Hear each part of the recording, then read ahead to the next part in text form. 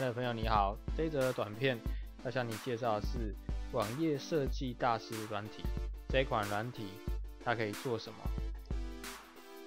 首先呢，你可以看到这个画面呢，要讲的是一个设计端的画面。这个网页设计大师软体呢，它可以让你用拖曳的方式来进行网页的设计。那对于网页上每一个物件，比如说这个下单的按钮啊，所有的文字，还有连接到其他网页的按钮，还有这些标签、图片等等，你都可以放大、缩小，并且移动它。那对这些设定呢，你也可以进到它的里面去更改它的文字，或者是自己写自己的文字，改变字形，改变它的大小，也可以改变它颜色。所有的设计都是用拖曳的，那你可以点这个，直接看到它的效果。这个 layer 是这款软体很重要一个功能，它可以让你的上面的物件分成下最后一层、中层跟上层三层不一样的一个图层。什么叫图层呢？比如说有的时候。我知道有一些朋友在使用软体的时候来设计网页，还会想要把一个东西放在另外一个东西的上面，或者是它的下面。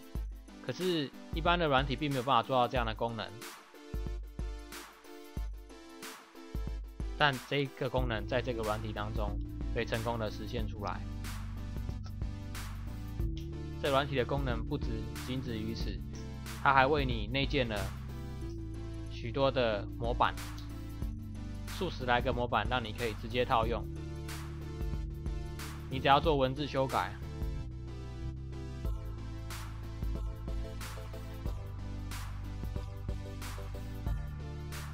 就可以马上修改成你要的页面了。就像是拥有一个设计师团队一样，你可以用许许多多设计师预设的模板来实现网页设计的工作。接着，这个软体与一般软体最大不同，还有一个地方在于它是真真正正的一个网页设计程式。这个软体呢，这支程式，你可以用它来设计网页的原始档，也就是 HTML 档。这在过去来讲都是要靠写程式才有办法做到的。那虽然现在有许多的网站提供这样的功能，可以让你在上面用拖一拖拉的方式完成网页设计。但它却没有办法让你可以把你所设计的网页原始档给下载下来。这有什么好处呢？跟坏处在于，这些网站，当你在网站上设计好软体之后，你必须用它的网站才能够把你的网页给别人看。这这样子的缺点在于，它可能会跟你收取年费、月租费。它想要倒掉的那一天，你也拿不回你所设计的宝贵的成果。在这款软体当中。它讲求的就是一个软体帮你设计网页，设计完网页之后，你可以马上带着走。比如说这样子，这就是软体的档案。当你想要把你的网站上传到主机的时候，你只要把这个网档案解压缩，把这个 HTML 档还有相关的图片还有材料上传到你的虚拟主机。你可以上传到无数的虚拟主机上面，就可以成立无数的网站。那如果你不会把这些原始档上传到网站上，你可能也可以把它交给你的网管负责人，请他帮你把它上传到你的主机上。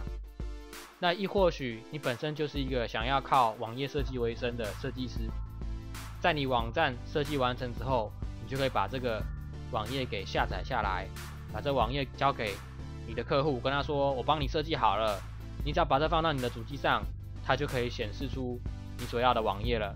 比如说像这个页面，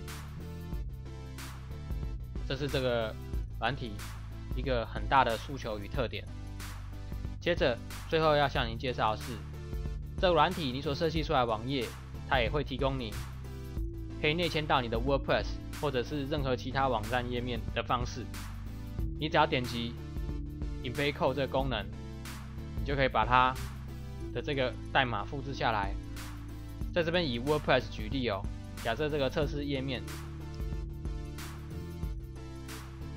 好，使用一般的编辑器，好，在一般的编辑器当中，你用文字模式把这网页贴过来，接着发表文章，你就会发现你所设计的网页也可以透过像这样子的方式内嵌到你既有的网站上。最后还有一项功能。叫做内嵌于脸书，这项功能的用意何在呢？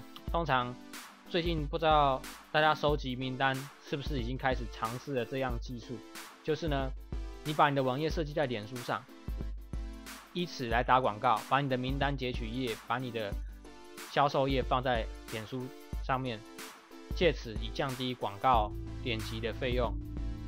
那要做到这样子呢，在这套软体当中，你只要为你的页面做一个命名，存档，完成命名之后呢，把这页面交给脸书来打广告，啊，你就可以发现这个网址嘞，给你的就是你所设计出来网页直接嵌入到脸书里面的样子。啊，在这样子的情况下，因为你的网页内嵌在脸书上，所以对脸书来讲，他就会觉得这个是内嵌在脸书里面的网页。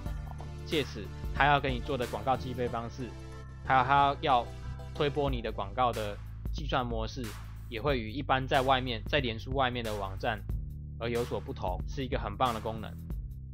以上就是网页设计大师软体的介绍，供您参考，谢谢。